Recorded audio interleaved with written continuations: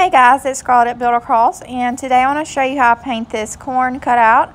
I'm going to go in first and base coat my corn in the color Colonel Mustard and that is a Dixie Belle chalk paint color which you can purchase online at buildacross.com.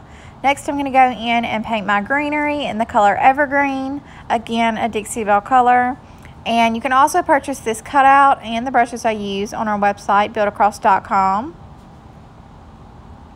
Once I'm done base coating, I'm going to allow everything plenty of time to dry.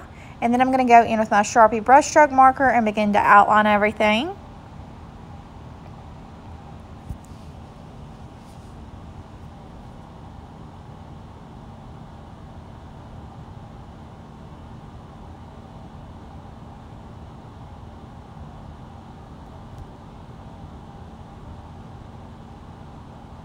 And then on my corn, I'm just going to do some little wavy lines.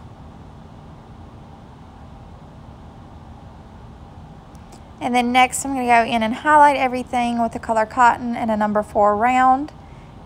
And then that will complete my project. So I hope you guys enjoyed this video and have a wonderful day.